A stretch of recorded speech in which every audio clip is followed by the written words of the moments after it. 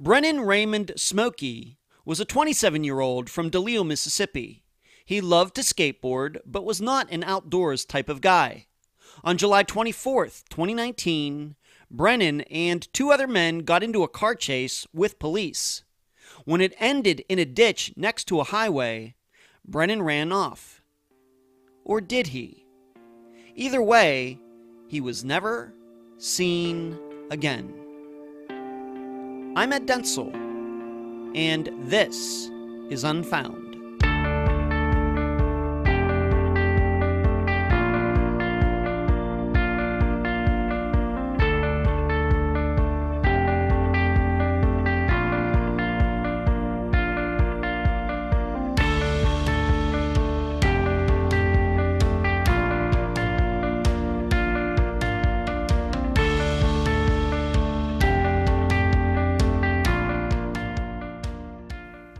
Honest. How many of you have watched a police chase on TV? Go ahead, raise your hand. Nobody else can see. Frankly, I'm sure many of you have done so. What is it about somebody trying to run from the cops that makes turning the channel almost impossible? Is it because we want the person or people to be caught? Or is it because, in some rebellious way, we want to see the suspect get away? Maybe just this once. Because I think we've all done it. We've all at one point, while watching a chase, said, Well, here's what I would do to get away. I would dump the car outside a mall and run inside. I'd drive the truck into a car garage so the helicopter overhead couldn't see me. Then I would abandon the truck and calmly walk away as the police came whizzing by. If I were on a motorcycle, I'd find a traffic jam and weave in and out where the police cars couldn't fit through. Or, in a real life example that you can find on YouTube, a driver in a Dodge Challenger drove so fast he outran the police cars and the helicopter. True story. Yes, for some reason, we live vicariously through these people who flee from police. Yes, we know it's wrong, but we fantasize anyway, even though many of us don't even have a felony on our record. I guess it's just human nature. Well, in the disappearance of Brennan Simolke, he allegedly was one of two passengers in a car driven by a guy who decided to run from the cops. The chase ended on the side of the highway. The driver ran but got caught. The other passenger stayed put. But Brennan, or the person who was allegedly Brennan, more on that later, ran off and was never caught. And we're left to wonder what happened in hot pursuit. And now a summary of the case. Despite being from Mississippi, Brennan Simolke was not an outdoors type of guy. He didn't like to get dirty, so he stayed away from things like sports. Instead, Brennan liked to skateboard, and he really liked the ladies. Unfortunately, Brennan got into trouble as a teenager and got sent to jail. This would be a common theme for him over the next several years. In fact, Brennan got out of jail in January 2019, seven months before he would disappear. The causes were mainly for drugs and failures to appear in court. However, somehow, Brennan still managed to have relationships with different women, even one who was in jail herself. But for that time in 2019, while living at home with his mother, Brennan managed to stay out of trouble. So on July 24th, 2019, Brennan's mother Missy came home from work. Brennan was there. Nothing was unusual. Missy then took a nap on the couch. She awoke an hour later to scuffling sounds coming from Brennan's room. When she entered, Brennan had one of his friends, Chris, in a headlock, and a girl Brennan had been seeing, Kayla, also in a headlock. By Missy's estimation, they were not fooling around. It was a serious fight. She demanded all three to leave, and they did so. However, 20 minutes later, Brennan came back to get a bag, then left again. It wasn't until about 36 hours later that Missy found out that Brennan, Chris, and another young man, Dakota, had been involved in a police chase only an hour after Missy kicked Brennan, Chris, and Kayla out. Chris and Dakota were caught at the car. However, Brennan fled the scene. Police did not search the area, thinking Brennan would eventually pop up. He was never seen again. If you read all the news articles regarding Brennan's disappearance, they all portray a very straightforward sequence of events. However, once all of the factors are considered, many questions remain. Number one, why does the description of the man who successfully ran away from the car not match how Brennan looked at the time? Number two, what are we to make of a YouTube video that says Brennan's disappearance was a gang related murder? And number three, why did Chris first claim Brennan was in the car, then change his story, saying another man was actually the person who successfully escaped? Brennan's family is fairly convinced he was not the person who ran from the car at the end of the chase. The guest for this episode is Brennan's mother, Missy Simolke. Unfound News. It's the end of the month again already. You know what that means newsletter time. If you're on the list, look for it in your inbox tomorrow, November 1st. If you don't get it, you're probably not on the list. But you can get on the list if you email me at unfoundpodcast at gmail.com.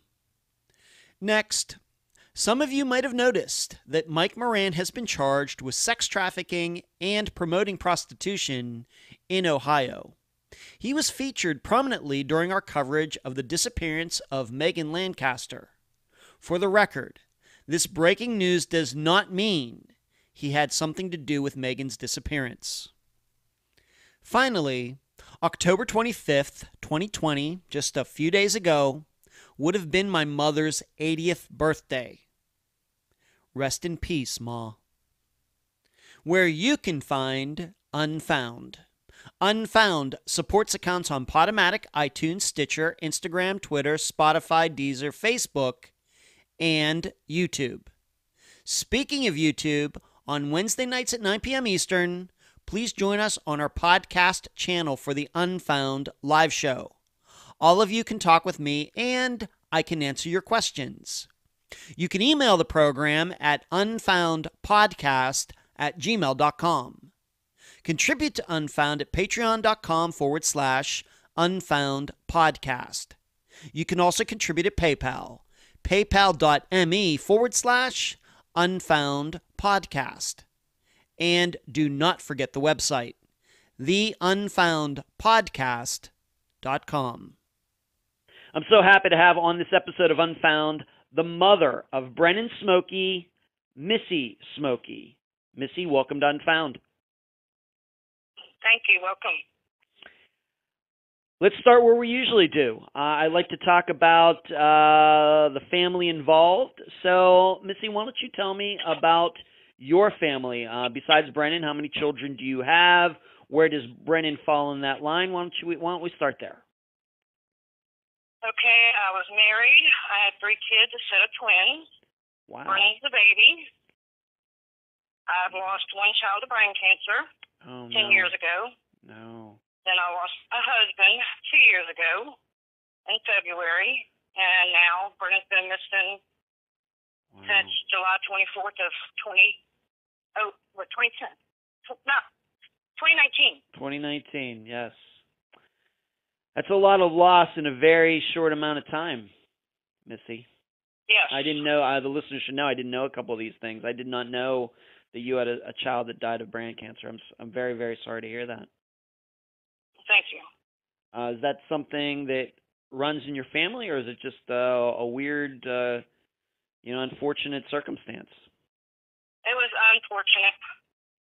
Okay. He so- was he was Ryan was my sick baby, you know, out of the twins. You know, he's the one. If a common cold, he got put in the hospital for.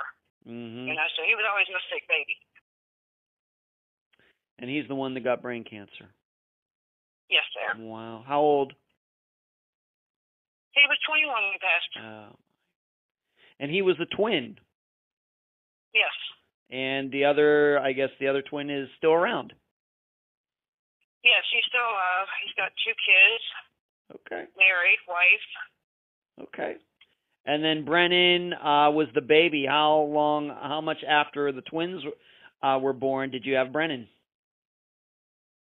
Three years later. Three years later. Okay. How did they all uh, three get along? I guess they're all boys. How did uh, how did the twins get along with their younger brother Brennan? Um, like they didn't like that little that little child running wanting to play with them. they thought they were bigger than him. So, Uh huh. but then once Brennan got older, it was okay. Okay. How did Brennan feel about having two older brothers that were twins? I mean, uh, do twins run in your family, or was that once again just some weird quirk of genetics? No, twi- twins and triplets are on my side. Do my they? generation. Wow. Okay. So Well, that would explain it when they then. said that, when they said, when they said you, you, I was having twins, I said, oh no, check to make sure it's not a third one. okay. Well, the- uh, Brendan, I guess Brendan was just a single then. Um, and he's born three years after the twins are. He has these twins as older brothers. And uh, but it sounds to me like once they got older, uh, of course, then if one of the twins died when he was 21, I guess Brennan would have been about 18. So um, uh, there you have all sons, no daughters. No daughters. Okay. All right. Well, let's talk about Brennan. Uh, tell Bren- tell the listeners a little bit about Brennan as uh, a little boy, a teenager. What were he, what was he into? What do he like to do? His personality. Brennan was um he was a pretty boy. He was a skateboarder. You know, um anything that didn't cause him to get dirty, that's what he did. it was all it was all about the girls. You know, Um, where the twins were hunting and fishing and Brennan didn't want none of it. Didn't like to get dirty, huh? Like I said, no, God no. Okay. The kid would change clothes three or four times a day. Huh. Okay. Were, were your other two sons like that, or were they different? I don't know, my um Brandon and Brian, they were um like I said, they were about hunting, fishing and Mhm. you know, being in the woods. Yeah. Okay, so Brandon was uh, a little different. He wanted to stick to the concrete, the sidewalks, the buildings. Wanted to stay away from that. I have to admit, as a country boy, I used to go out in the woods and play in the dirt and stuff all the time. Okay, so he was into that. He was into skateboarding, uh, into girls, I guess you said. Uh, oh yeah, else? he was a pretty boy. anything else that he that he was into? Sports or anything? Uh he played sports for a little bit, but that just wasn't his cup of tea. You know, baseball means you get dirty. Football Mhm. means you get dirty. He Mhm. wasn't about getting dirty. Okay. Yeah, if you're going to play sports, uh, you usually have to get dirty, uh, unless you're maybe playing basketball or something. Anything inside, maybe, but outside, yeah, you're going to get dirty. Okay. So he's he's into that. Um, high school, graduate from high school. Uh, what what was uh, the situation with that? Um, he didn't graduate. Uh, he was in the process of taking his GED when his dad first started getting sick, but they could never diagnose him until a couple of years down the line, and that's when we found out he had bone cancer. Wow. Okay, so Brendan never graduated from high school. No. Okay. All right. So what did he do instead? Did he did he get a job? Uh, I'm, I'm guessing he was living at home with you. What what did he do? He well, he he lived back and forth between me and his dad because at one point me and his dad had separated. Mm-hmm. So with that being said, he um well when he was 16, fixing to turn 17, he took a drug charge for his girlfriend at the time. Wow. and they didn't prosecute. He was 18, so he got Mm. put on drug court. But because uh, me and his dad separated, and his dad ended up the hospital, and me trying to work, um, when they did, when he wasn't reporting in for drug court, then that's when they put him in jail. because the judge had gave him an eight year Mm. sentence, but was trying to get let him do the drug court thing first. Why do you think he didn't show up for it? Sounds seems like showing up for drug court would have been the smart thing to do. Why didn't he do that? Do you think, Missy? Well, I was working full time, and his dad was in and out the hospital. Mm-hmm. So a lot of times, you know, he would have to be there at a certain time, but it was also the same time I had to be at work. Mm-hmm. So he didn't have a car. He had no uh, transportation to get to to court. Well, he had no driver's license, so Mhm. his dad wouldn't let him drive. Mm-hmm. I guess what I'm saying is that sounds like a pretty serious. You know, you you know, if the alternative is going to jail, um, you know, you find a way, I think, to get to court if, instead of going to jail. But that's, I guess, that's not the choice he made. Well, and you got to remember, drug court where we live, it's a half an hour away. Mm-hmm. So, you know, like even if I did try and take him, I'm missing an hour, hour, 15 minutes worth of work. You know, Mm. and Yeah. where we live, there's not a lot of access to things. Okay. You've got to go to a whole other county Mm-hmm. here to get it, you know, get like, like I said, with drug court, things like that. Mm. You got to go to a whole different county to do all of these things. Okay. All right. Did you do you think that at the time when this happened, did you realize that if he didn't show up for drug court that he would get sent to jail? No, because I mean, my kids were never in trouble, so I never knew Mhm. like how serious it was. You see what I'm saying? Yeah, I do. Yeah. Okay. So he didn't show up for uh, uh this court appointed date, whatever goes on there, and so he got sent to jail. And how long was he in there? Um, probably six or nine months. Wow. How how did he handle that? Um, I guess I rough because, to be honest with you, I can remember the first time he went to jail. He had called me. He was a trustee in the kitchen, and he had called me and said, "These people want me to join their gang." And I'm like, "Well, what do you want to do?" He says, "Mom, I don't want to be in the gang." I said, "Then don't be in the gang." Mm-hmm.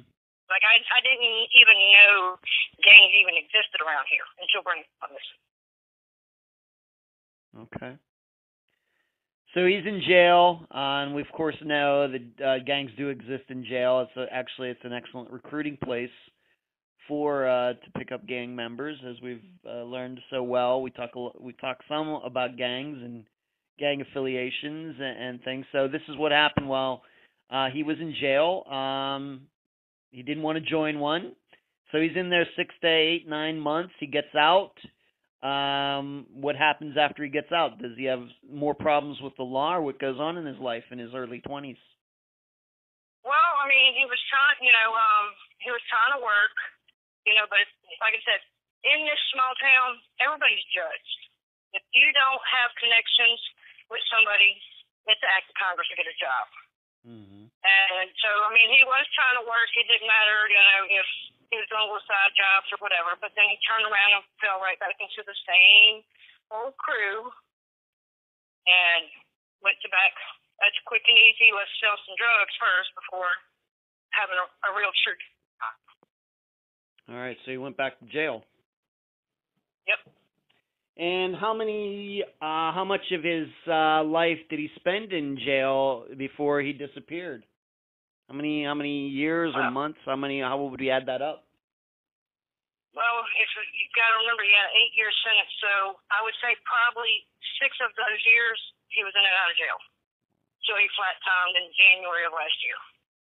Wow. Would you go see him in jail? How often would you go see him? Would his, uh, I guess one of his brothers yeah, is deceased, but would his brother, other brother, go see him or what? No, it was no, because normally on visitation it was the day his brother had to work, so it was normally me and um, my grandkids would go see him. Okay. All right. So he's in jail, uh, in and out of jail, having some legal problems. And you said that the last time he was in jail, that he got out in January of 2019. Yes, sir. Okay. And how did he handle uh, that being out of uh, jail? What did he do? He come back and and lived with you. What did he do? Um, well, at the time I had lost I had lost my place, so I was in a process of getting an apartment, but it wasn't going to be ready till March. So he stayed with friends and family until uh, we got the apartment, and then he moved in. Okay. And how did that go? You being with him uh, again, you two living together, him not being in jail. How was it? It was good. I mean, because you know, we cut up and you know, did things that, like I said, you know, at least six of the years was him in and out of jail. So Yeah. it was good to be able to spend time with him, be with him. Right, I'm sure. Okay. And so, how do you? Uh, what did he do? Did he did he get a job, or I mean, we you know we we realized that you know if he got out in early 2019, uh, seven months later, of course, is when he disappeared.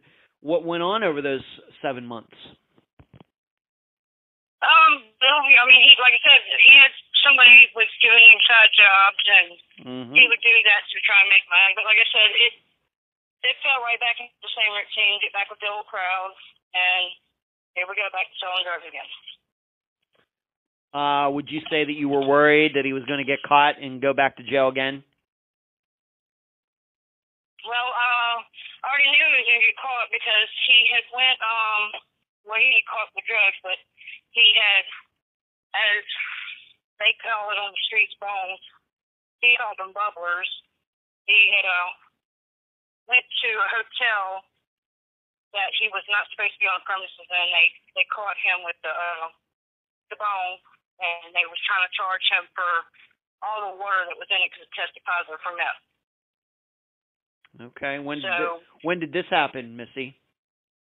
Do you remember what month? um, Not the exact date, but maybe the month of 2019. I know I was still working night shift, so that had to been um probably April because it was warm. April. Okay. So it was April 2019. And I have to ask, uh, did you ever try to talk to him? Hey, Brent, hey, Brennan, you got to stop selling these drugs and everything. I mean, was that? Did you try to do that? Did that fall on deaf ears, or how would you explain it? Well, he came. He well, we had talked about it, and because they were trying to get him to um snitch on three people. If not, they was going to charge him for um what was it? It was a serious, serious like drug trafficking because so much water. Wow. tested positive for the meth. Wow. And I said, when he came to me, I said, Bernard, I said, what are you going to do? And he's like, Mom, he said, I guess I'm going back to prison. He said, because I'm not snitching on nobody. Okay. I have to ask, and, and did he have any? Uh, being that not only was he dealing drugs, uh, was he a, an addict or, or as well, or what was he? Um, he he smoked marijuana. Okay. I'm not going to say he didn't smoke meth, so I can't. I've never seen him do it, so I'm not Mhm. going to say yes or no. Okay.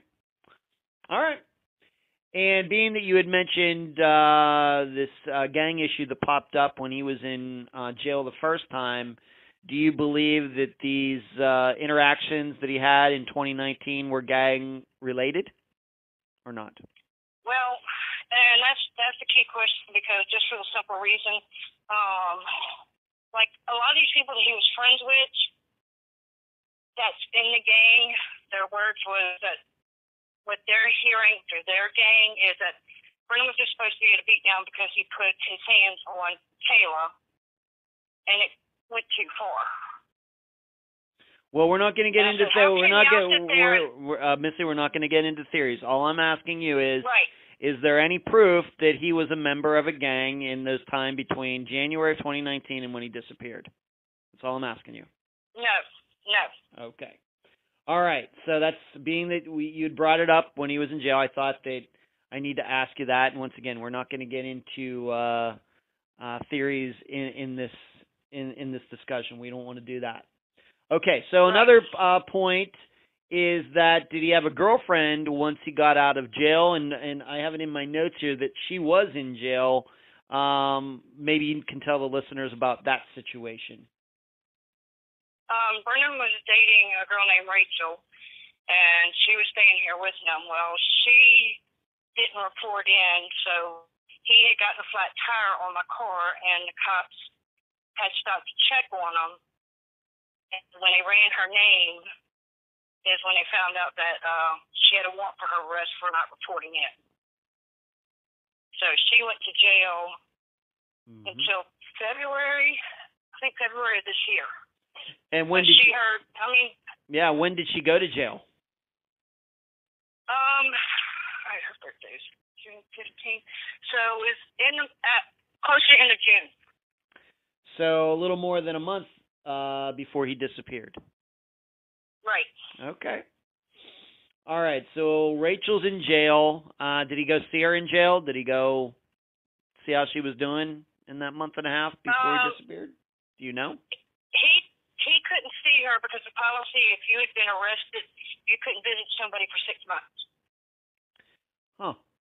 I never so heard he of that. just make sure she had money on her books uh, for phone calls and uh, candy. Okay. I, I have to ask this, being that Rachel was his girlfriend, do you think that uh he was seeing other women while she was in jail? I'm not here to point anything out, but being that Oh we- yeah, they they did because that that was their policy. If Mhm. if one went to jail and the other one was out, they had an agreement that they understood that, that you know one or the other needed to take care of needs. Okay. All right. Let's move on to this. Uh, let's just talk about some people in general. Uh, we're not going to get into the, specific, uh, the specifics just as yet regarding uh, where they were at the time of Brennan's disappearance. But what can you just in general say about uh, Chris? Uh, who is he, and how well did Brennan know him?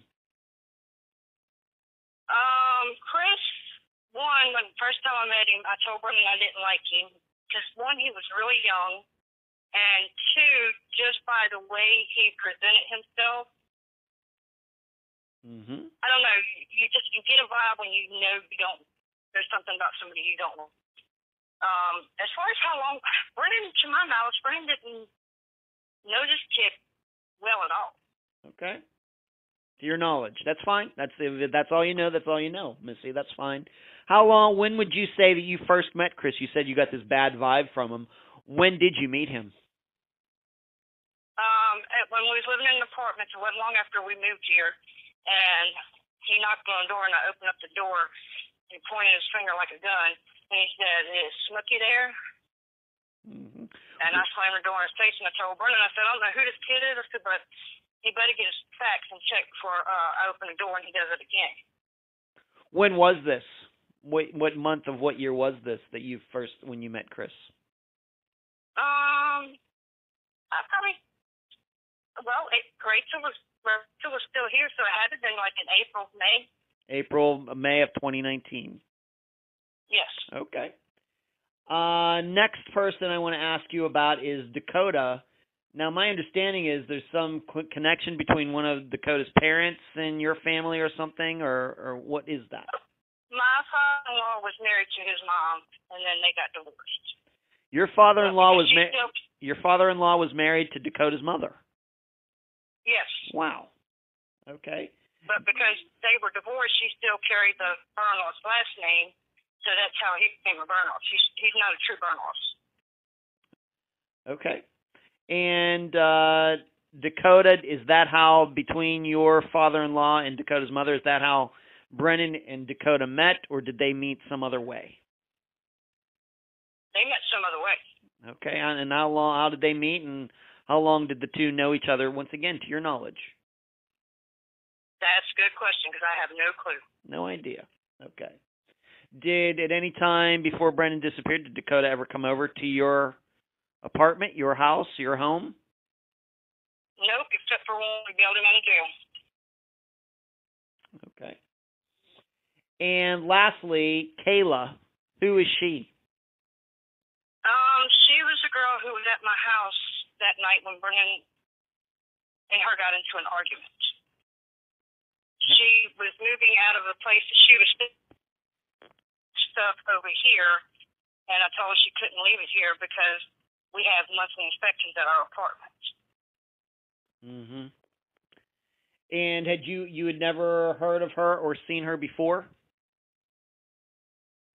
Yeah, uh, well, yeah, Brennan's brought Kayla over a few times, hmm but I mean, I didn't truly know her.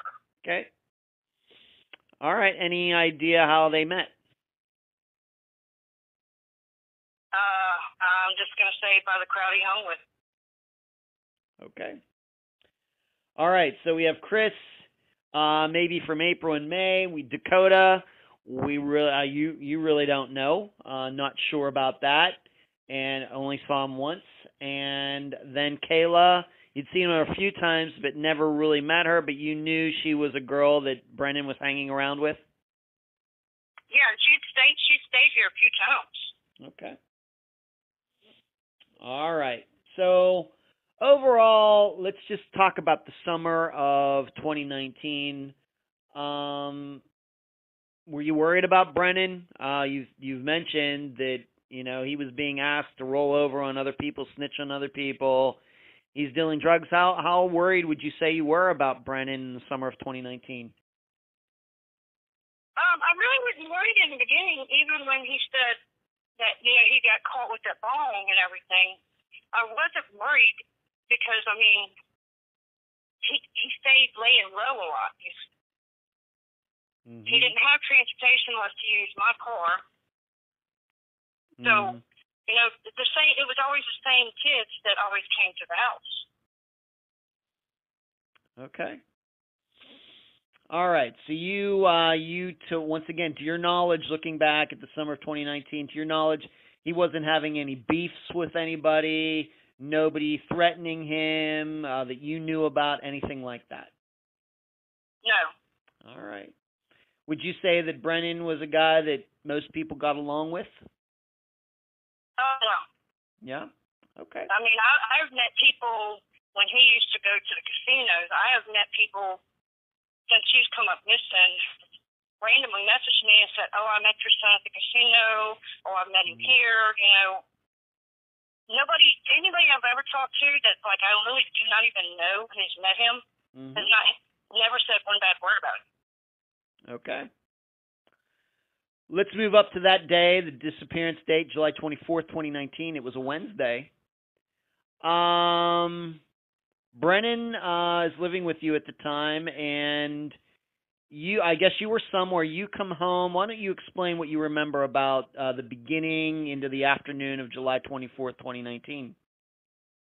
All right, I was cleaning the school, and it's summertime. We work from six thirty to three, and I went to work. Got home that afternoon because, like I said, we had inspection, and you know, I told him, I said, you know, make because he takes his globe off of his fan because it's a frosted globe, so it makes it really dim in his room. I said, make sure you put your your globe back on. And he's like, okay, so I'm gonna do that right now. I went to work, come home that afternoon, was laying on the couch watching TV, and I must have dozed off because I woke up to Chris Browse. He doesn't have an inside voice. He talks really loud. okay. And I woke up, and when I woke up and walked in the room, he had um, Chris and Kayla dead. Why don't you say And that, uh, Missy? Missy, why don't you say that again? You went out for just a moment. What what did uh what what was Brennan doing to Chris and Kayla? He had when I walked in the room, he had both of them in a headlock and dropped them on the bed. And I grabbed Kayla and I told her get out the house. He's like, wait, I got to get Chris. And I said, Kayla, do not go in that room. I said, because if he Mm. puts his hands on you, you bring it on yourself. So she Mm. went outside and I told Brennan and Chris that they need to leave or else calling the law. And I walked outside. Well, Kayla went and got the car. And, and Chris and Brennan walked out. And he come to me and he's like, Chris came to me and said, I'm sorry, Miss Smith, it's a misunderstanding. I said, if you do is never come back to my house, because if you do, I'm having the law called on you. Well, they left. Okay. I just need to ask, uh, Missy. I just need to ask you a couple questions. So you come home. You're done with Okay. work at three. When you come home, are they already there, or is the house, your apartment, empty? No, it was just me and Brennan. Just you and Brennan. Okay. So Brennan, Brennan's there when you get home. Just the two of you. You doze off. When you wake back up, Chris and Kayla are there. Right. Okay. And then you hear them, um, something's going on in the other room. You go in there, you see Brennan have each of them in a headlock and throws them down on the bed. Uh, was this something that they were just joking around, or did was was it something serious? Well, I mean, after I get Kayla out, and then oh, uh, he had a friend in there, Justina, which she was kind of covered in the corner, because Brennan kept trying to hit Chris, and uh, Chris kept saying, "Dead." You know, I'm like, uh, everybody at the house right now. I'm calling Walker. Mm-hmm. Okay. Do you know uh, to this day? Do you know what this this was all about? I can only go by what the story is on the street, Chris. No, we're not going to do it. We're not going to go by what's on the street. So Brennan never told you what it was about. Chris never told you what it was about. Kayla never told you what it was about. No, they left. All right. So none of them had any explanation before they left. Okay. But you, the way you look at it, when you walked in there, you thought it wasn't just a bunch of 20 somethings horsing around. You thought it was a serious fight. Okay. All right. So they're there. You kick them out. Um, and both of them in the headlocks. They, uh, you told them to leave. And what time was this about that day that they left? It was between five and six. Okay. Any still daylight. Okay. Any idea where they could have been going? Uh, did they say anything about? Well, I guess we'll just go here. We'll just go there. Any idea where when they were leaving, where they were going? Nope. Nope. Because like I said, when I told them I was calling the law, they all left. Okay, that makes sense. Okay. So they leave, and uh, what transpires the way you remember it for the rest of the day? Just your. We're not going to get into the chase and everything yet, but just your day for the rest of the day. What did you see? Uh, did you talk to anybody? Anything the rest of that day? Um. Well, like I said, Bernie came back maybe twenty, thirty minutes later. He walked in his bedroom. He grabbed his book bag. He said, "I'll be back in a little while, Ma." And I said, "Okay." Well, I never thought nothing of it because he's got a key to get into the house. Mm-hmm. And that night, I go to bed. I wake up next morning. I check his room. He wasn't there. Didn't think nothing of it. I figured, you know, let mom cool down. I'll stay the night somewhere and then come back home. Okay, well, let me and, ask. Let me ask you this. So Brennan comes back. Uh, do you, did you look outside to see who dropped him off? Do you even know? It was it Chris? Was it anybody else? Did you see anybody else? No, because I live in an apartment, so I live in the back, so I don't see okay. the parking lot. I know I know exactly how that can be. That's perfectly un- understandable. Okay, and Brennan comes in. He gets a couple things. His book bag, which we will talk about later. Uh, did he ever? So no explanation as to why he and Chris and Kayla were in that uh, fracas earlier. Never gave an explanation for that. No. Okay. Uh, did he seem okay? Did he seem happy? Any any your his demeanor when he came back twenty minutes later. Oh yeah. Well, Bernie bouncy. I mean, he's always happy go lucky. Okay. You know, he could get into an argument with you and be mad, and then 20 minutes later, like mm. nothing happened. So when he came in and got his book bag, mm. He walked in the room, got his book bag, and like I said, he's like, "I'll be back later, mom." You know, and then you know, right back on out the house. Okay. Do you have any idea what? I'm guessing it wasn't books in this book bag. What do you believe was in the book bag? Well, I know, I know it was a shirt or something hanging out of the book bag because I had said something to him about it because it looked like, you know, it's a possibility it could fall out the book bag. Okay.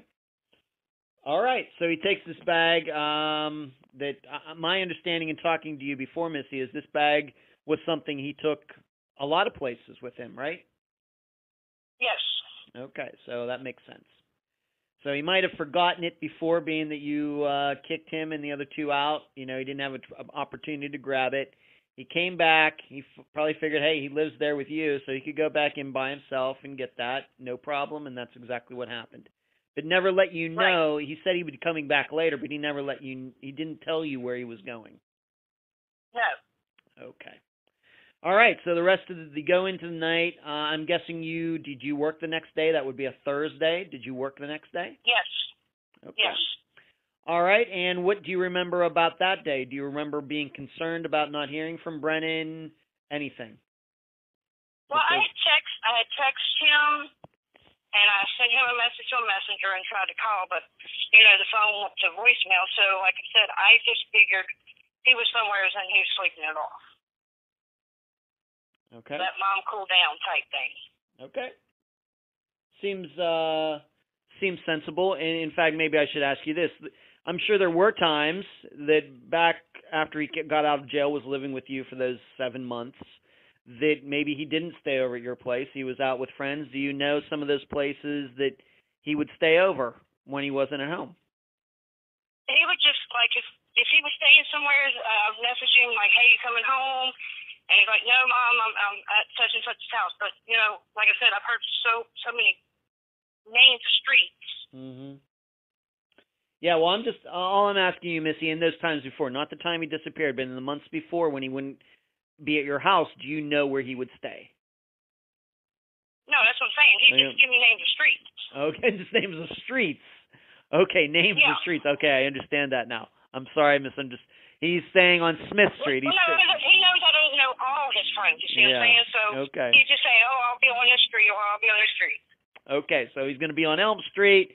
He's going to be on Main Street. Right. He's going to be on Fourth Street, and that's all he would tell you. Wouldn't give you any person's names. John Smith, Jane Doe, nothing. Right. It's people I I truly knew. No. Okay. All right. That's just how he handled his business. Okay. So you go to work, you don't hear from him. When do you start um thinking maybe something isn't right? Friday. Friday. Well, let's talk about Friday. What what uh you didn't hear from him? I'm guessing that's the reason you felt that way. Um what did you do on Friday? Well, I went to work and I started messaging a few friends that I knew I had on Facebook and asked, hey, has anybody talked to Brennan Steen? You know, and was same response to everybody, no. Mhm. When I got off of work, because I posted on Facebook. No, I didn't even post. I think either Friday or Saturday. I'm not for sure. I'd have to go back and look. But it was either Friday or Saturday. I posted, "Has anybody heard from me?"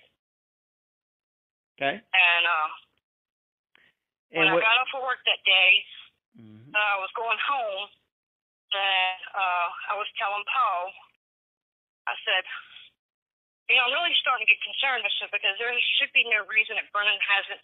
Che- I mean, even if Brennan's mad, he'll give me a thumbs up. Mm-hmm.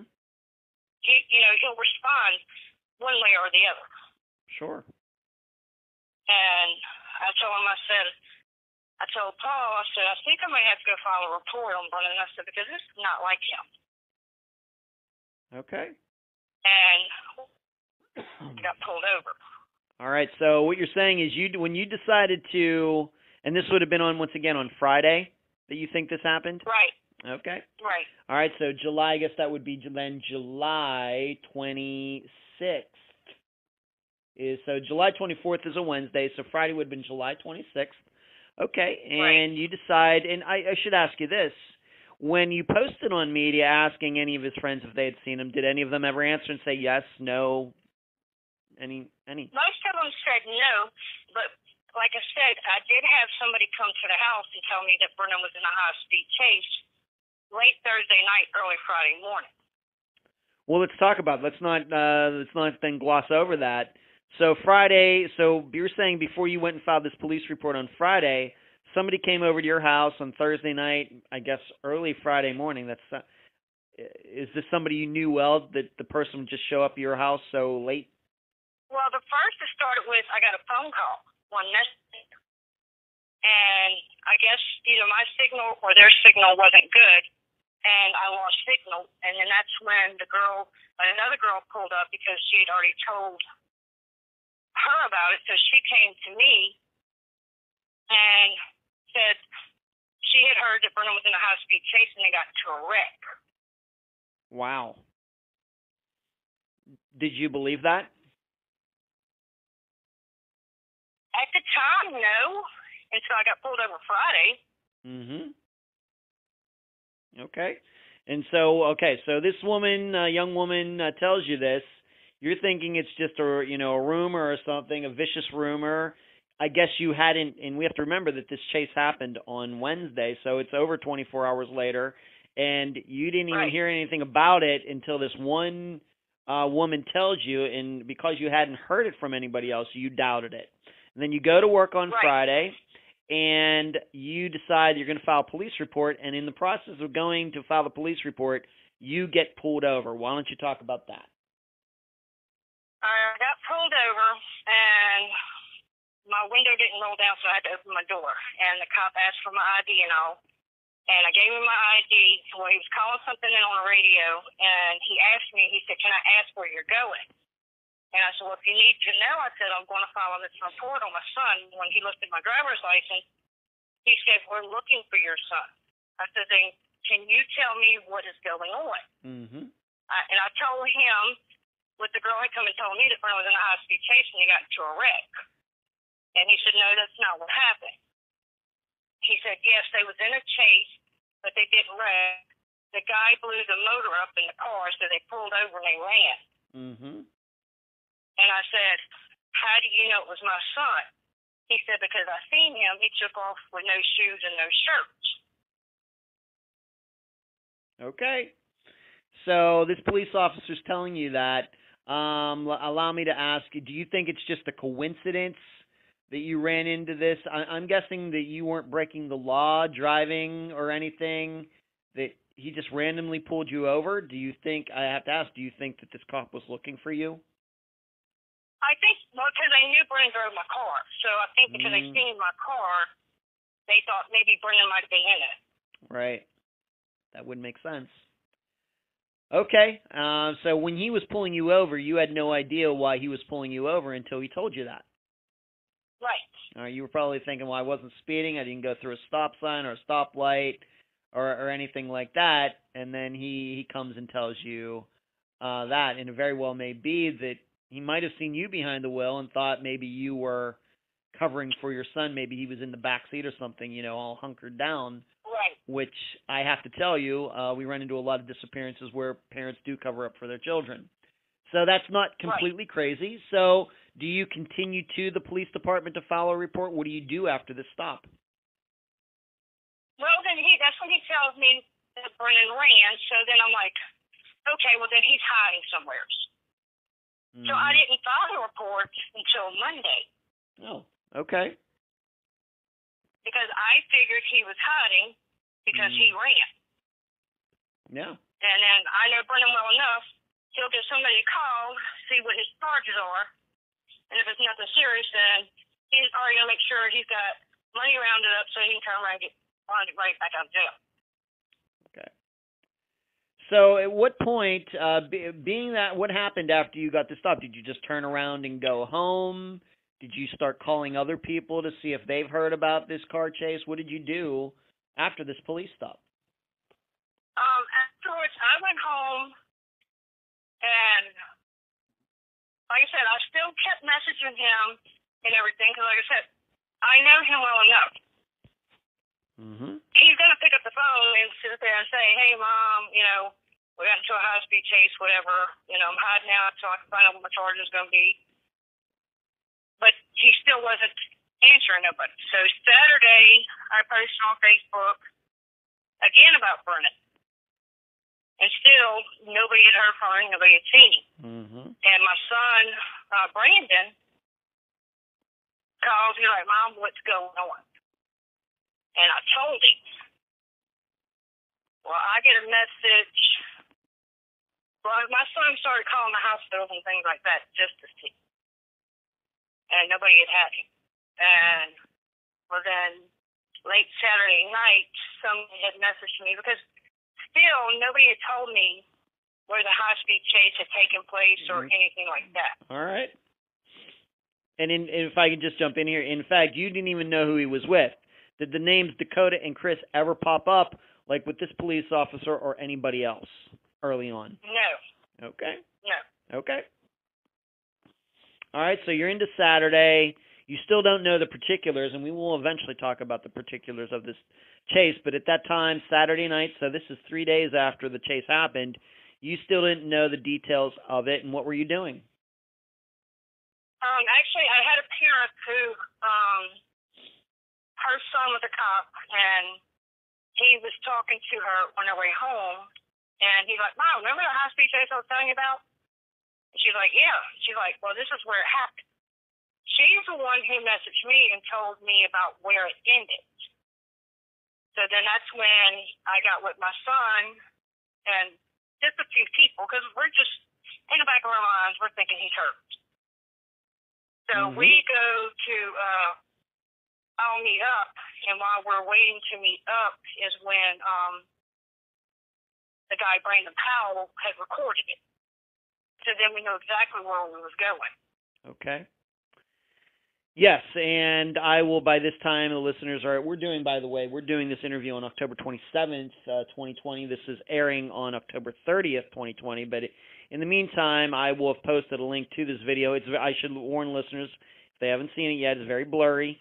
Uh, it's not high quality, but that's the video you're talking about, Missy, correct? Yes. Okay. All right, so somebody was driving by the end of this chase and videoed it. So you got to see that video. When was it that you actually found out all of the details?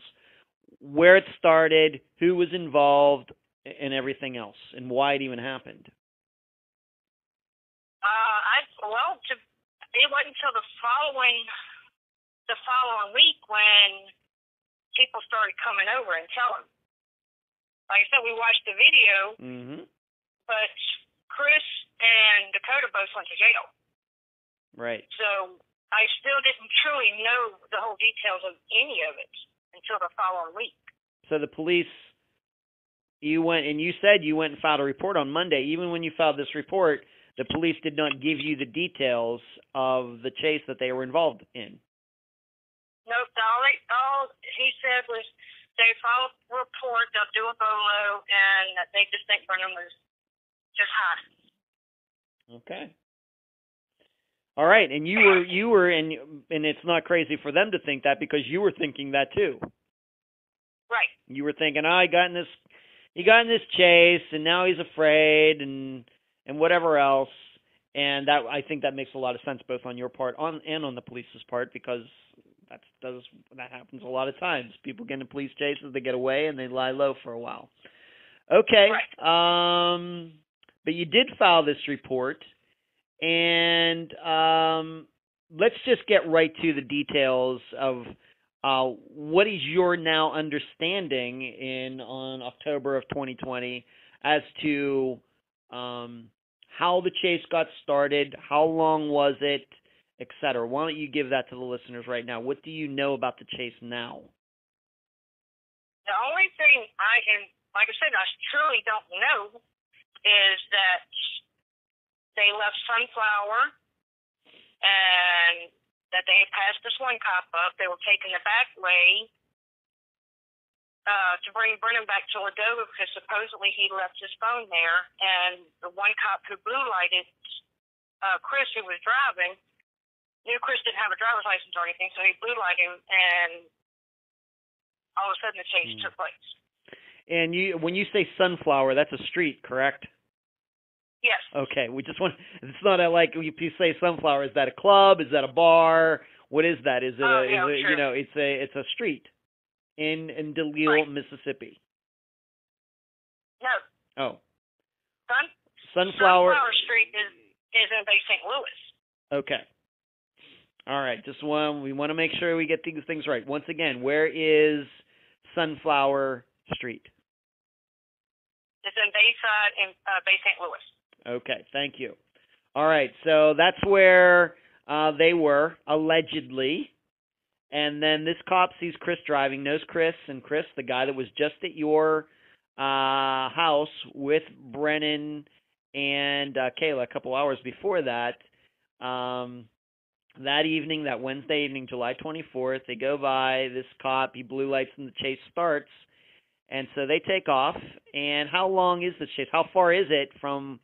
to your knowledge, from where this cops tried to pull them over to where the chase ended? How far? How many miles? How long did it last? Do you know? Um, at least a good fifteen, twenty minutes. Wow, a, good, a long one then. Okay.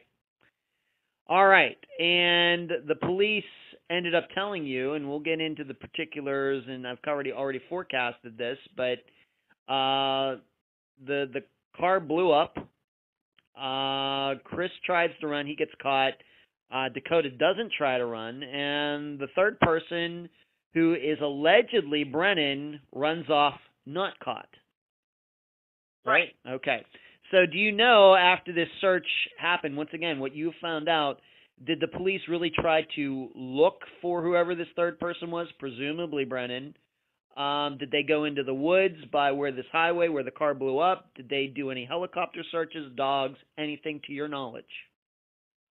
No, um, the cop, the one cop I did talk to said that it was really sick and it was really hard for them to go into the woods.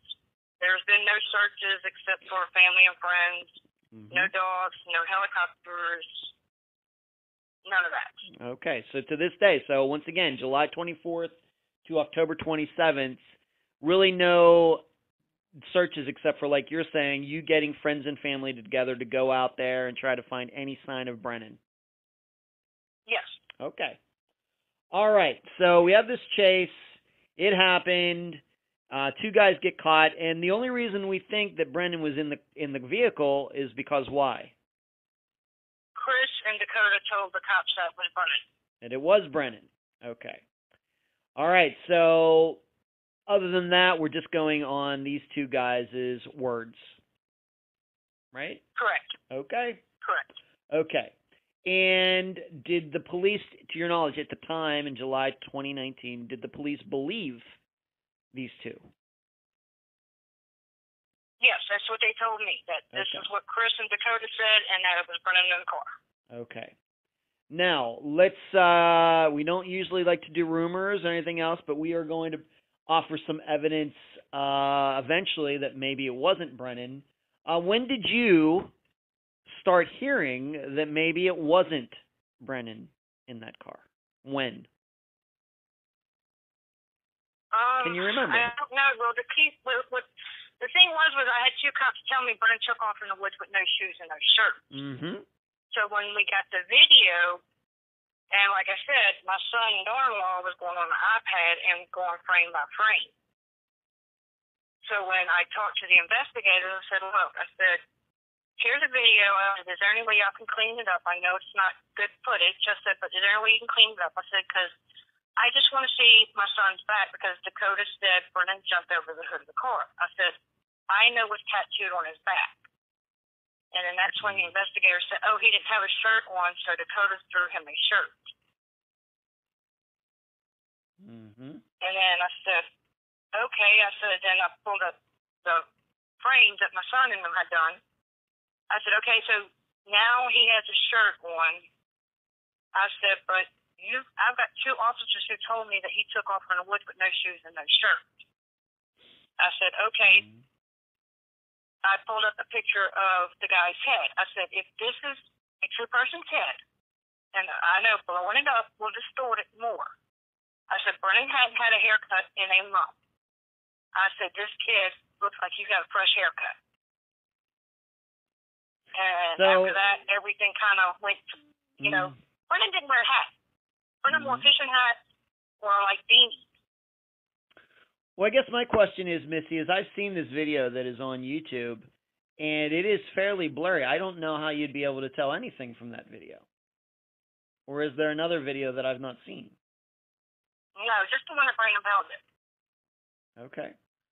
Because um, you really, it's really hard. I mean, uh, the listeners will see it for themselves. They'll get determined for themselves. But for myself, it is somewhat blurry. You can see somebody running from the car, but I would be. I, it could almost be me in that video. I'm a white guy too, so um, it's it's a little hard for me. But you're saying that somebody was able to clean it up and look at it closer or something. They cleaned it. The, well, yeah, they cleaned it up a little bit, but it wasn't. I mean, they don't have the technology Mm-hmm. to really clean it up. That's why I brought it to the investigators. Yeah. You know, they're saying that they have better technology, so that's when I asked them could they clean it up because what they've done, you know, it's it's still grainy. Okay, it is. All right, and we I just want to remind the listeners, when did you first hear this? That maybe you started thinking that it wasn't being that the cop told you it was Brennan in the car on Friday. How long later did you begin thinking maybe it wasn't Brennan in the car? Um, after, like I said, after they they they cleaned up the video, Mhm. like I said, it wasn't by much. I kept telling them, I said, "There's no way that was Brennan." Okay. How long how long was that? A week later, a month later, do you remember? Um, it was about about three three or four weeks. All right, so it was fairly long. Okay. All right, so let's talk about, uh, let's get into some of these things a little bit more uh, detail. We've already talked about searches uh, that were done. Um, cops didn't do much, uh, maybe thinking that whoever ran off um, might pop up anyway. Uh, you've gone out there with friends and family, looking around, um, haven't found any signs, of course, of course not of anybody's remains, let alone Brennan's, and no signs of any Right. Adult activity out there, human activity in, in the woods there. But once again, Chris and Dakota, once they were caught, uh, they said that Brennan was in the vehicle. However, you had told me about maybe this is what you were referencing before, but I want to talk about it uh, explicitly now. Uh, there was a witness who gave a description of the person who ran off that does not match Brennan. Why don't you explain that? he said that when when he got off the interstate, there was a car sitting on the side of the road, and that what he had seen did not look like Brennan at all. He did not have the tattoos like Brennan had, and so forth on that line. Mm. Yeah, and if anybody's And seen, I asked him, could he describe the car, and he said no. All he knew was it was a white, like sporty car. He couldn't tell me like if it was an Acura or you know whatever Mhm. sporty cars are. and was it white? Was that was it a white car? I can only go by what he said. Okay, so you don't Which I knew there was a, I knew there was a couple of his friends who did have white cars. So that's why in the beginning I kind of played the possibility that oh, if he was running and he had somebody going to meet him, that Mhm. would be common sense. Okay. All right. Um, but this person, and, and if anybody's and I will have posted at least a couple of pictures of Brennan before this episode comes out. Uh, tattooed a lot. In fact, he has his last name tattooed across his chest. Correct. Right. All right. So he has a lot of tattoos, front and back. So for a witness to say that not, you know, doesn't remember tattoos and maybe the hair isn't correct, uh, does raise um, some suspicions. But you're what you're saying is this witness was just a regular person in a car driving there, just happened upon the scene that day. Right. Okay. All right. Now, what's also important to this, though, and it's the reason I've mentioned it before this interview even started in this episode, is that Chris, who was driving the car, and it wasn't his car, it was, I guess, his girlfriend's car, he actually ended up Correct. ch- changing his story regarding Brennan being in the car, didn't he? Yes. When did he do to this? a couple of people. When did he do this? Uh, well, he's let's see, he stayed in jail. Like I said, we bonded Dakota out because of what he told his mom, and so Chris probably Chris probably got out about two months later. All right. Okay, and and so Chris gets out, and who does he say? Um, who does he tell this to? That he's changing his story. It's not Brennan in the car. It was somebody else. Who did he say this to? Well, like I said, he's he's told a couple of people. He's told um a girl named Sunny, told a girl named Denise. Mm-hmm. Um, I'm trying to think because, like I said, um, Okay, so- got stolen out of my house. That's all right. So he, after he gets out, he he changes his story. At the time that when he was caught during the chase, he said it was Brennan Simolke, and that's what Dakota Right. said. But then sometime later, he changes his story and says that a guy, and I'll just say his name, Sean Bilbo, was in the car instead.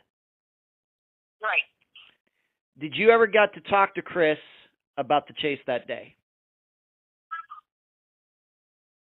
Not the chase itself.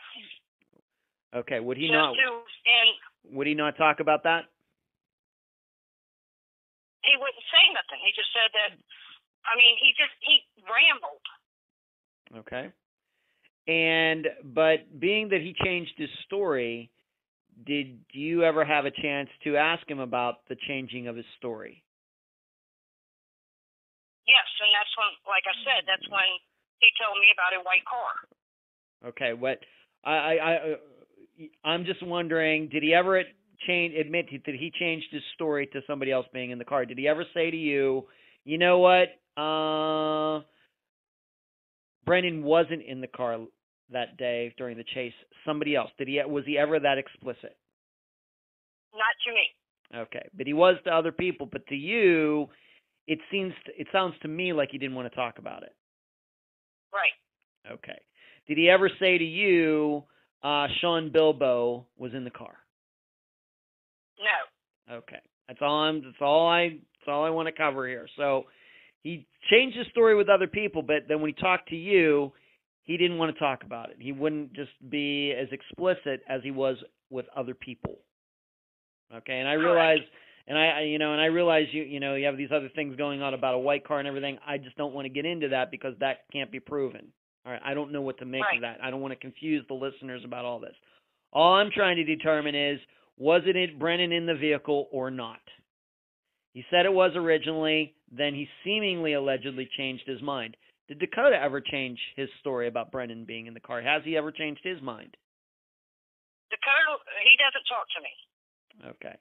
But you haven't heard anything through the grapevine in the last year and some months that Dakota has changed his story about Brennan being in the car. Dakota just keeps saying the same thing that Brennan was in it. Okay. All right. So he's sticking to his story from that day. All right. Now, we do have to, though, talk about the car and what was found in it. And first of all, I want to talk about Brennan's shoes. I mean, somebody said that he ran off, no shirt, new shoe, no shoes, but Brennan's shoes were found near the car. Where were they? Please explain. Um, his shoes were on. From the video, it looks like Brennan's going towards DeLisle. All right, but we found the shoes like he was going back towards Bay St. Louis. Okay. And uh, are you sure that they are his shoes? Yes. All right. Uh, and were they just lying on the side of the road? Were they thrown off into the woods? I mean, what? How would you explain it? The way my brother-in-law found him was like he just stood there, took his shoes off, and jumped in the woods. It wasn't like he was running out of his shoes. hmm He said they were like like he literally stopped and took his shoes off. Okay. He because he was wearing slide. Okay. So what you're saying is the video shows, and and I just have to ask you something once again, being that I've seen the video. Are we sure that in that video that isn't Chris running and not Brennan? I just have to ask. We know that Dakota didn't run; he stayed in the car. Chris did run but got caught. Are we sure in that video that it's not Chris running? Chris was the one that was running, and uh, the cop caught him. Mm-hmm.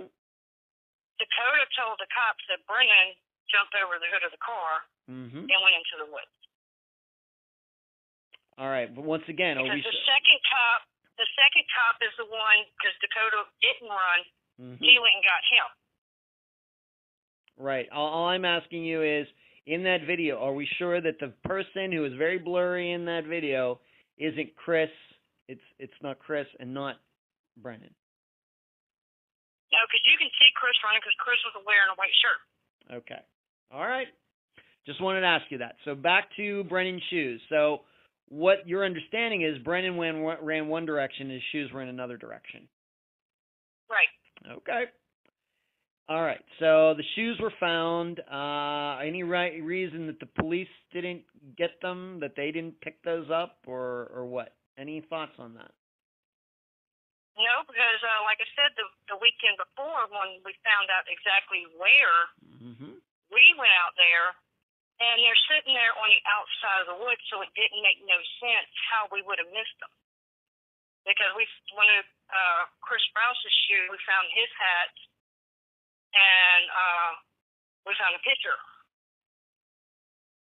which that was the following week. But the first weekend, it was we found Chris's hat, one of his shoes, and um, a cell phone. Okay. The second weekend was when Brennan's shoes was there. huh. All right. That is weird. Let's talk about Brennan's phone. Was it in the car? From what the cops tell me, yes. All right, but you haven't seen the phone. Nope. Okay. So they believe that they found Brennan's. Now, was this Brennan's phone or was it his girlfriend's phone? Whose phone was it that Brennan was using? The phone at work was Brennan's girlfriend's.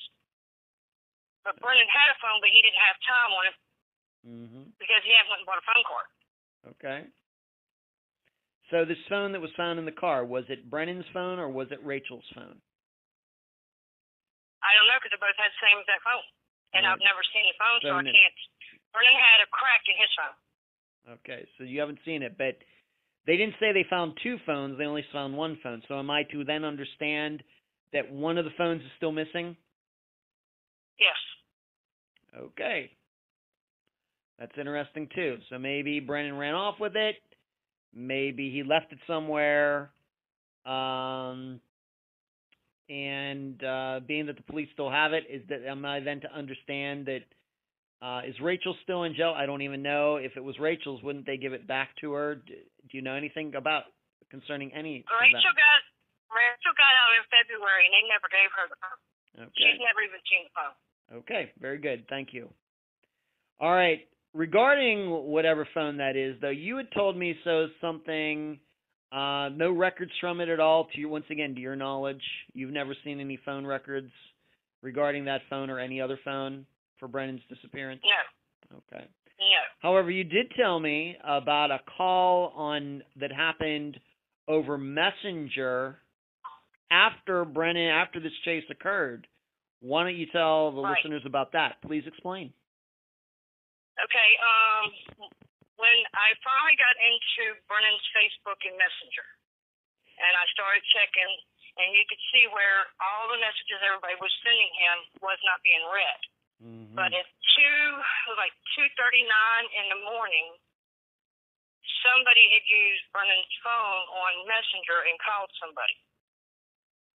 Which I messaged the lady and asked her, does she, and I sent her a picture of my son and asked her, does she remember talking to him?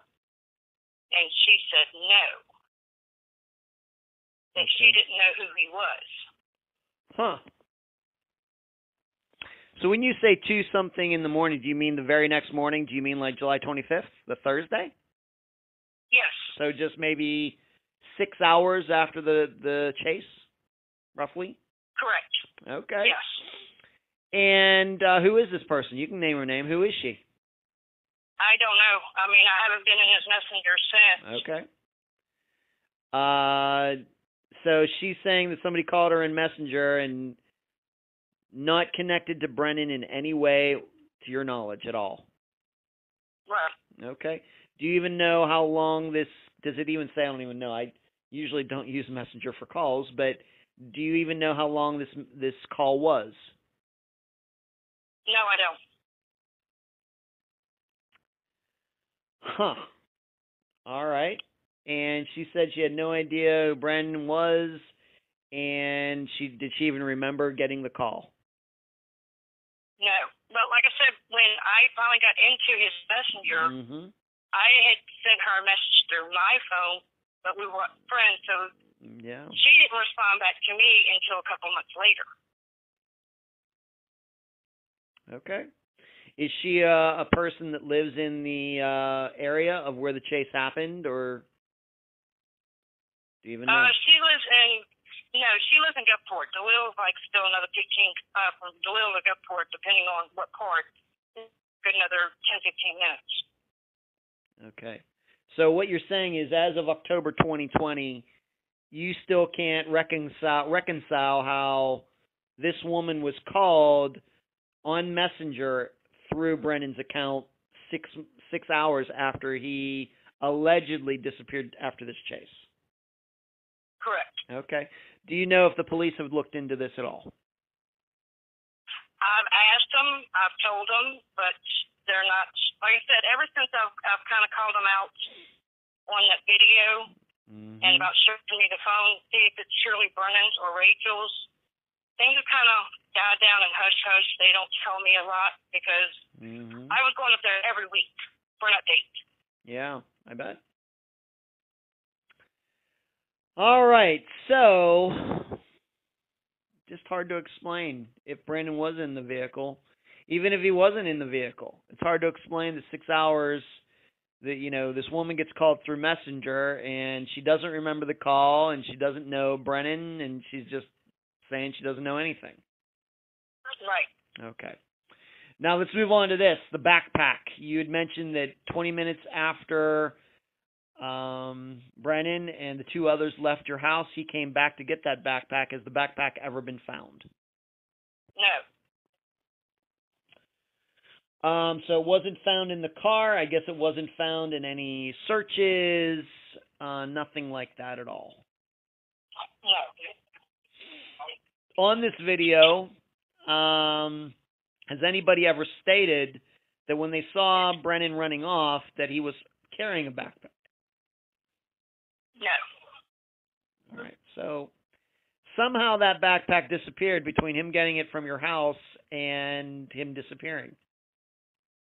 Correct. It's- okay. All right. Never been found. And uh, you had given the impression that maybe some clothes or something would have been in it. Uh, could have another phone been in there? Any any idea what else could have been in this backpack? It, like I said, it wasn't much in the backpack because I mean it was unzipped, and yeah, it's a possibility there was another phone in there, but it Mhm. wasn't like it was, you know, filled up Mm-hmm. Because he had it was still left unzipped when he walked out the room. Okay. All right. So the backpack, not only is Brennan missing, but his backpack is missing as well. Even though his shoes, a phone was found that they believe to be Brennan's, this backpack not been found. We can't forget No. about the uh, young woman in in kind of possibly involved in this, and that was Kayla, who was over your house the very day the chase happened. Um, she was at your house that day. What does she say happened after leaving your house that day? What has she said? The couple times I did talk to her, uh, she said was um, they dropped her off on Ocean Street in Bay St. Louis, and that was the last time. That was the last time she saw Brennan. She doesn't know anything past that. Correct. Okay. Um, now though, you told me that three weeks later, though, she appears at your place, and what? Does, why is she there? Well, she randomly came by in the beginning just to see what's going on, have we heard anything, things like that. And then the last time she came, um, she had asked me if we could have something of hers to remember him by. So Kayla's acting like Brennan is deceased, and what? And what was your response to that? When she asked me if she could have something of Brennan's to remember him by, I'm like, why would you ask me something like that? Nobody said that, you know, he's not here anymore. Mm-hmm. And she's like, I just want something to remember him by. I'm like, no, nobody gets nothing of his.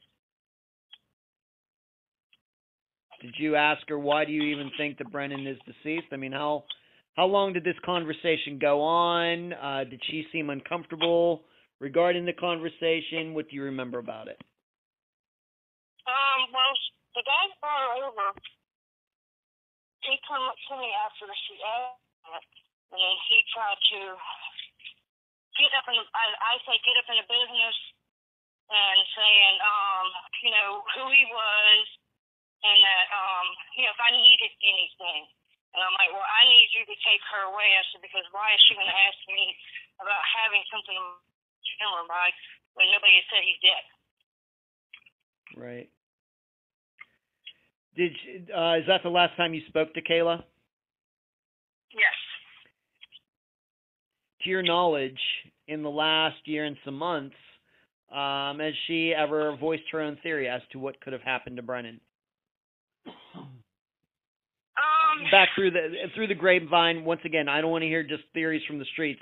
Her specifically, to your knowledge, has he ever voiced an opinion on what happened to Brennan to anybody?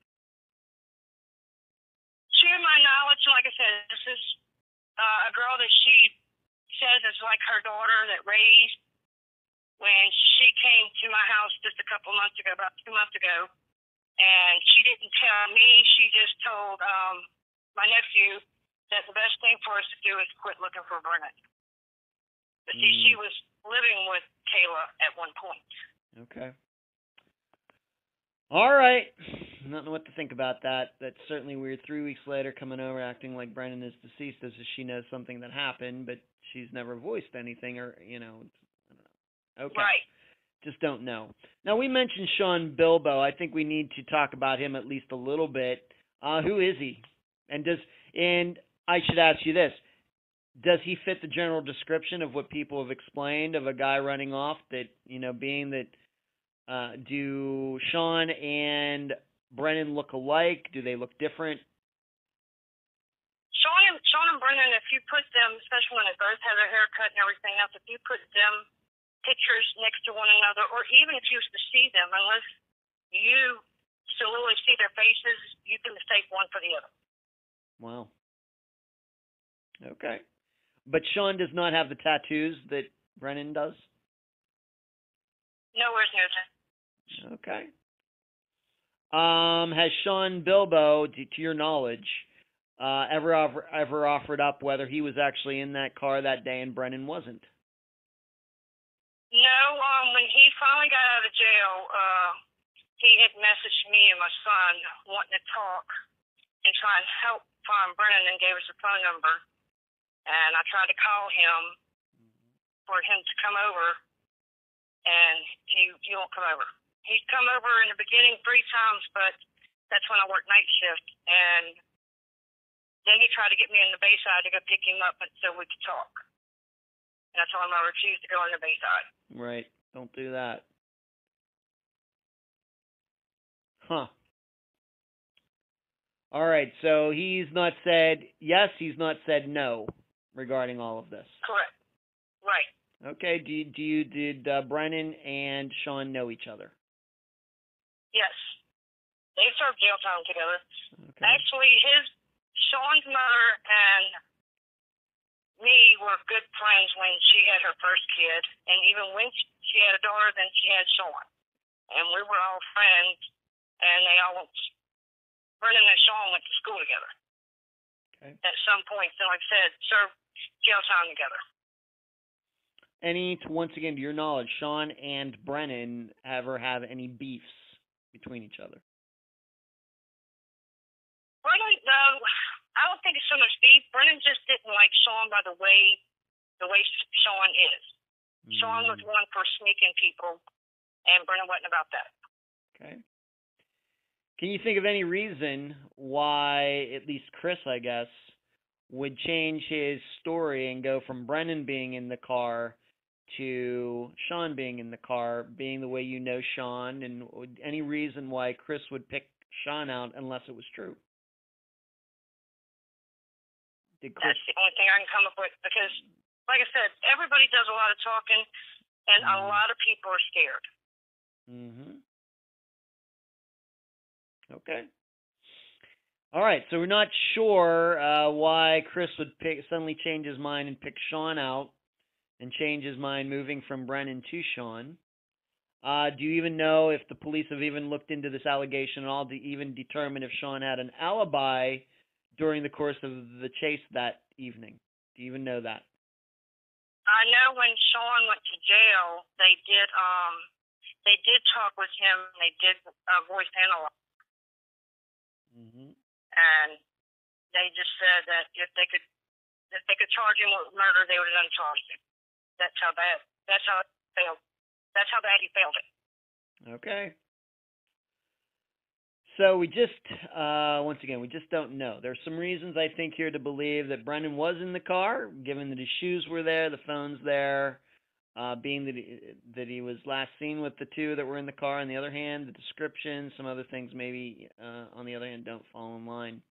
Now you told me about something, and we're going to get to a couple other uh, point um, other issues, but right before we started this conversation, you had told me about a person who just on uh, two days ago um, told you something about uh, that day of the chase. What did this person say? This person had some knowledge about seeing Brennan with with Dakota and Chris. Why don't you pass that along to the listeners? Alternator had went out on my car last year, and the guy's a mechanic, and he said he would fix my car. Well, to find out, a brand new alternator was three hundred dollars, and he said he could get me a used one for forty. Mm-hmm.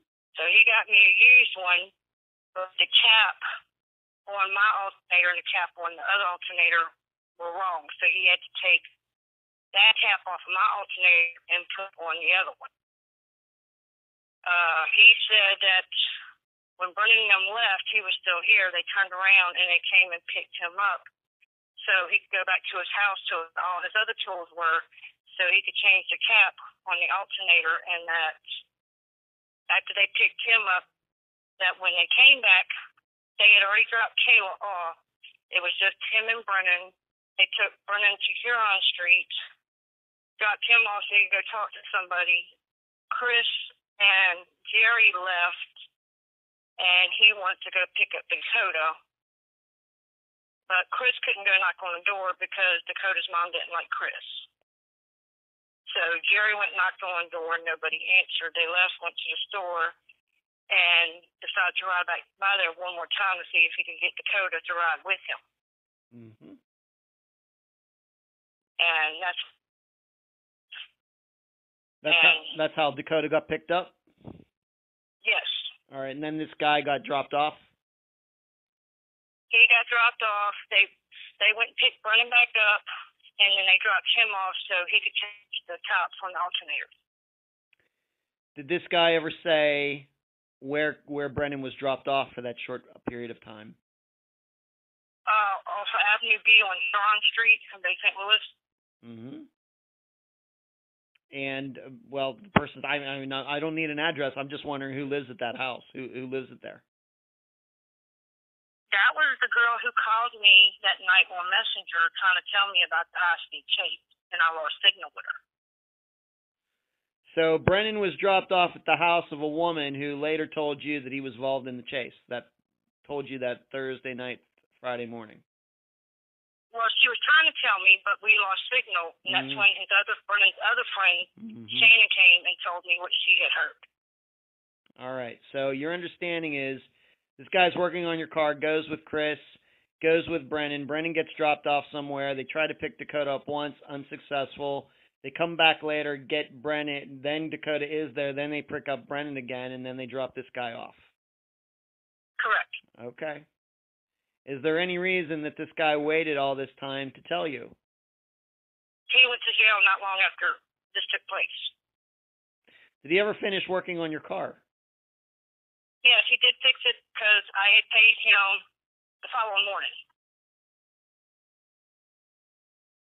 Is there a reason you think that he didn't tell you about all of this at the time that you paid him back last year?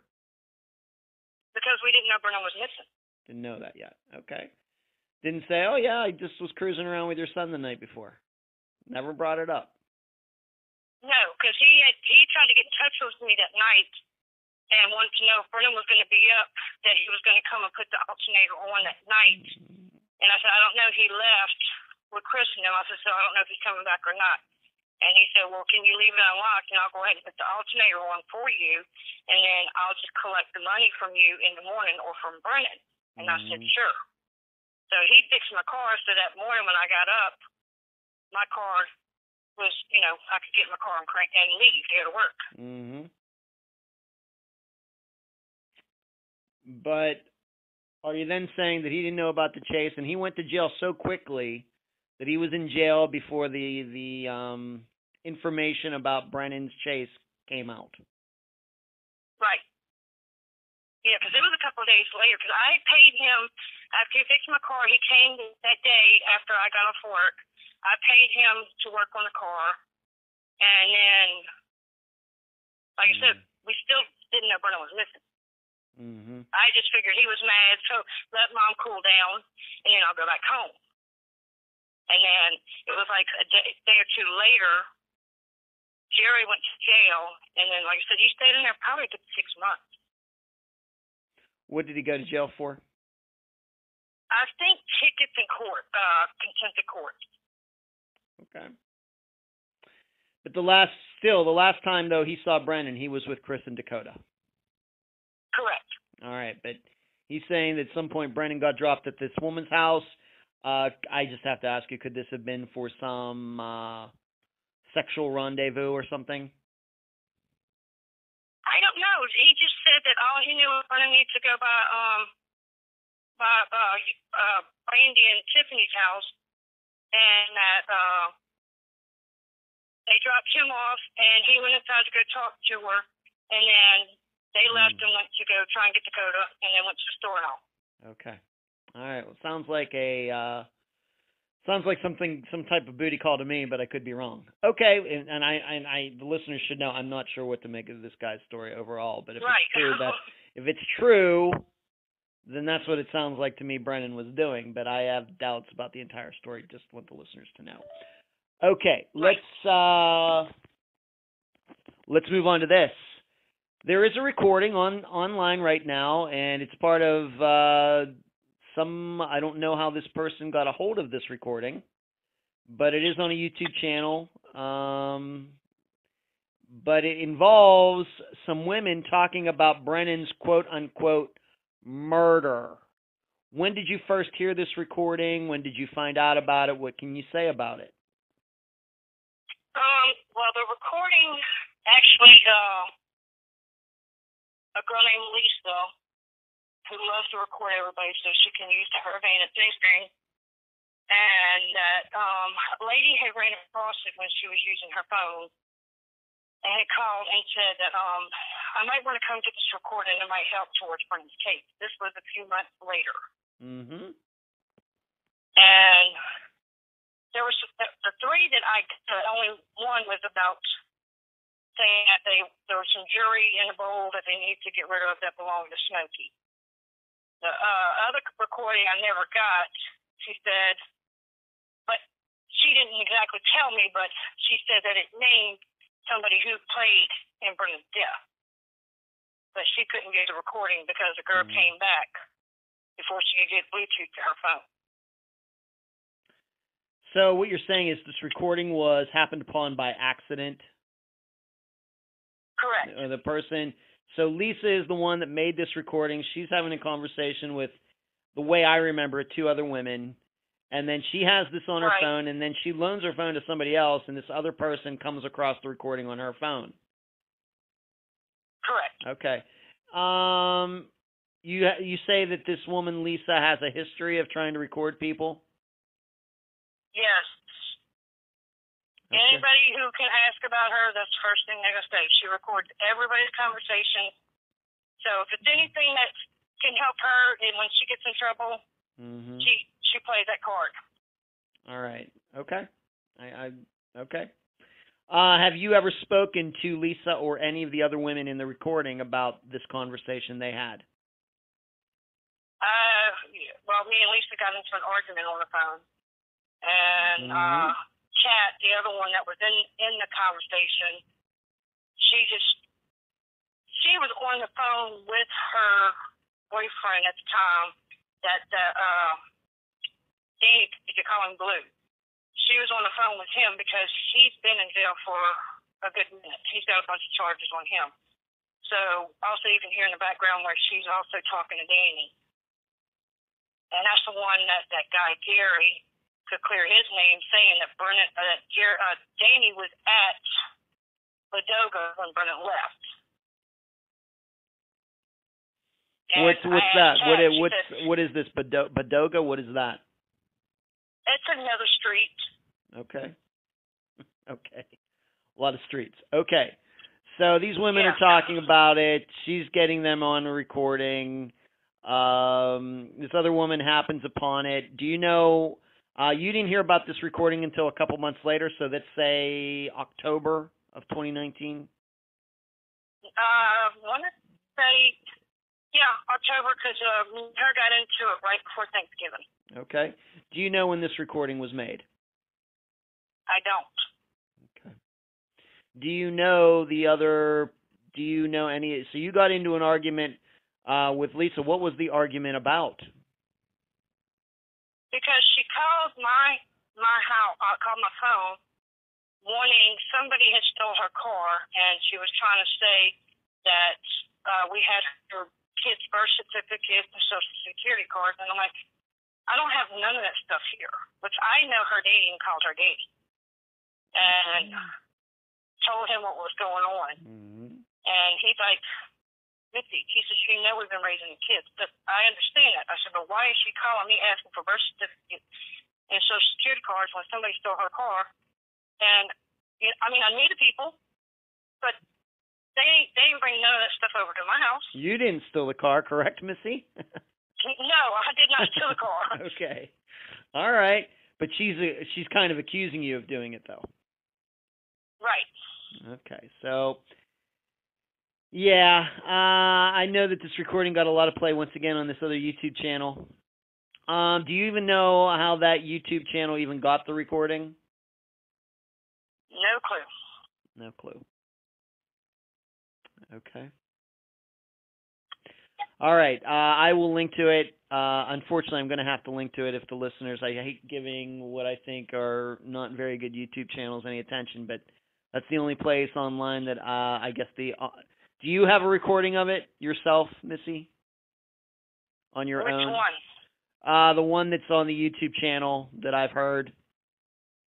Anonymous? Yeah, that one. Yes, we'll get into that in a second. Yes.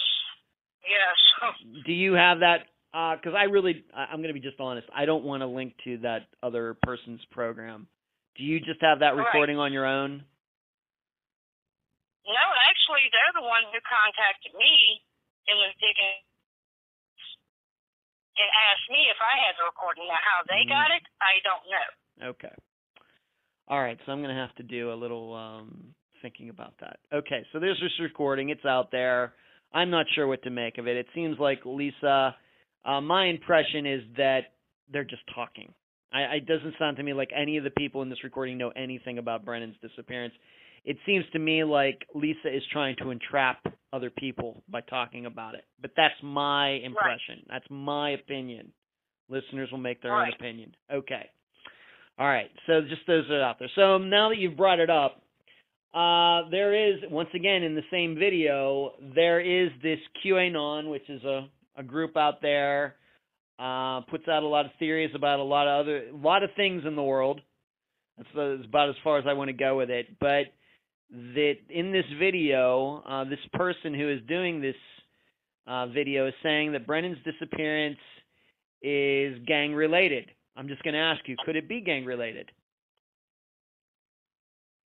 To be honest, I don't know. Like I Mhm. said, I I was told by some gang members that because Brennan put his hands on Taylor, that he was only supposed to get a beat down for putting his hands on her Mhm. Because she's affiliated with the same gang. Mhm. But did I mean I I guess I mean you saw this. Uh you did he put a hand on her? I didn't. Another girl did. Please say that again, Missy. I didn't see it, but one of his friends who was here that night did. Okay. Okay. So there's that, and it could have been that uh, you know we just don't do theories, but uh, that is out there though. So Correct. maybe this uh, video is not, um, you, you know, it's mysterious and everything else, but uh, I don't I don't know what to make of the video. Uh, people are going to find it. I'm going to have to link to it, even though I don't like to, but I'm going to have to. But uh, how long do you believe this video has been out there? This YouTube video that we're talking about, how long has it been out there? I didn't even check the. Uh, since close into last year. Okay. Did the person who put that video together speak to you at all before putting that out there? Um. Yeah. Okay. Actually, they called me mm -hmm. and was talking to me about it. Okay. All right. Um, that's all I really. I just don't don't want to give it too much more attention than it than it deserves. The listeners will find it, and once again, I'll have to link to it, but that'll be about it. Okay, so we've covered a lot of uh, information here. I think uh, there are certainly reasons to believe that it was Brennan in the vehicle. I think there are reasons to believe maybe he wasn't in the vehicle and that something happened uh, in the meantime after leaving your house, after him getting the the uh, backpack, and then them getting in this chase that ended, you know, with two of those guys uh, getting caught. I should ask you this: You said that you bailed uh, Dakota out early. Um, how long did Chris spend in jail for trying to evade police, et cetera? Um, I, I want to say like about two months. So not long. Okay. And how would you explain that area where this ra- this uh, this chase ended? Um, the side of the road very wooded, very open. How would you explain it? Uh, where where the chase ended. Yeah, where they everybody really, tried to run off. Yeah. It's, yeah, it's real thick. It's um like thorns, stickers, or will eat you alive. It's just real, real thin. Okay. All right, so we've covered uh, a lot of uh, information here. Uh, Missy, what's the last year and some months uh, been like? Uh, you've talked about, we started this conversation, talking about a lot of loss in your family. You've lost a, a son to brain cancer, lost a husband to cancer, and now you have Brennan who is missing, whether from the chase or something else. I mean, what's this all been like? A nightmare. My last decent night's rest was July 24th of last year. hmm What is your other son? Uh, I guess your their sons' names were Brandon, Brian, and Brennan. Correct. Wow, that was uh, that must have been interesting using all their names. Very close. That you didn't make your it didn't make it very easy on yourself there, Missy, with those names that are so close to each other. Um, what is your son Brandon said about all this? If you can say. Um, he's just he's just like me, you know. Like, why can't somebody just? We don't care who did it. We just he's like me. Just like, can we just have his remains so we can have closure? hmm hmm Has your son uh, did? a- Uh, it seems like you've uh, been really the point person on this. Uh, what has your other son done? Is he supportive, helpful, going on these searches and everything? Yeah, he is. Um, and like, there's a lot of times we split up. Like, there's places that you know he hears that he don't want me to go just in case. You know, he was to find his brother. Yeah. Um, we do we do split off, but I mean, when we do split off, we also make sure the people that are with us are people we can trust, and you know, no, nobody come back and try to. hmm Did your son? Uh, did he know? Uh, this your other son? Did he know any of these people that we've talked about? Uh, Chris, Dakota, any of these people? Does he know any of them? Oh, he knows almost every one of them. Does okay. Okay, and if you can say, um, do you does your other son believe that that uh, Brennan was in the vehicle, or does he not believe that Brennan was in this vehicle? If he you can, excuse he, me, He's not. It's not Brennan. it's not Brennan. Okay. Do you have a, a Facebook page or anything like that set up for Brennan, Missy? Um, yeah, we have what is it? Finding Brennan Simolke, or my yeah, Finding Brennan Simolke. Then we have a Bringing Brennan Simolke home. You got a few different places. Right. Okay, why don't you say those again a, a little bit slower for the listeners? One is Bring Brennan Simolke home, and Bring Brennan. What's the second one again, please? Find, finding Brennan Simolke. Okay. All right, both on Facebook. Correct. Okay. I should probably ask you this. Now, being that he did run away from this, uh, if the police believe it, I'm not. It's going to be up to listeners to decide for themselves. Is there a warrant out Right. for Brennan's re- arrest because of this? Because he fled? Yes. All right. So the police are on the lookout for him. Correct. Okay. They may not be doing much regarding his disappearance, but there is a warrant out for his arrest should they come across him. Right. Okay. All right. That's I, maybe we need to establish that. Okay. Uh, Missy, any last words before we complete this interview? No, that's it. Like I said, it's just more about getting Brennan home and uh, and you know, just so we can have closure. Yeah.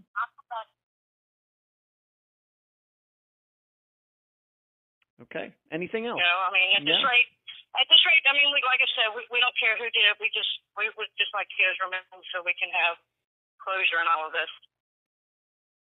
Okay. Well, Missy, I hope we can continue to keep in contact. Uh, I certainly hope that the program can help you uh, in, in trying to figure out what, what happened to Brennan, whatever, whether he was involved in that chase or not, whether he ran off or not. And uh, if you need anything, you can always let me know. All right, I appreciate it, and thank you so much for doing this.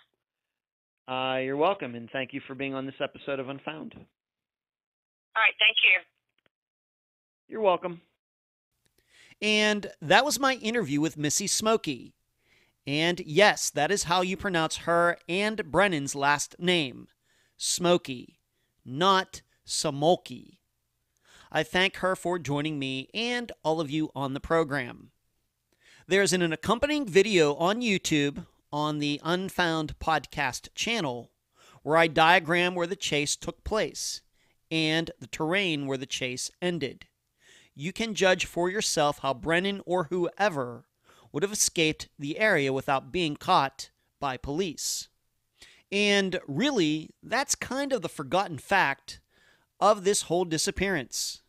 Whether the person running away was Brennan or not. How did that person escape? Because although it surely does happen that people who run from law enforcement escape, it only happens a very small percentage of the time. Why? Because the police have the man or woman power, the technology, the vehicles, and most of all, the experience to capture criminals.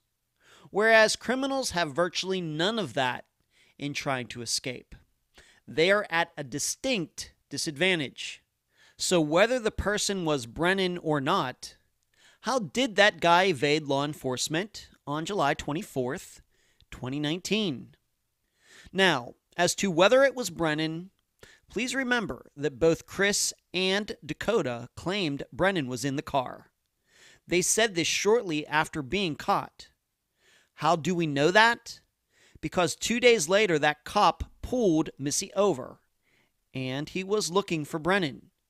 Missy was quite clear about that. In addition, that Chris and Dakota told law enforcement so early that the third person was Brennan means there is no way Chris and Dakota could have known that the third person, Brennan or not, wouldn't be caught. It very well could have been that they said it was Brennan, then an hour later, police would have caught Sean Bilbo or someone else in the woods near the end of the chase. This would then make Chris and Dakota look really bad. And it probably would have added another felony charge to all the others they were already facing. So, would Chris and Dakota lie about something that they knew could be possibly be proven to be a lie so easily? That will be something each of you will have to answer in your own mind as we stay in hot pursuit of the truth. I'll leave the theorizing up to you. And that's the program. If you found it informative, please go to the app that you use to listen to Unfound and give this podcast a nice review. I thank you for listening. I'm Ed Dentzel, and you've been listening to unfound.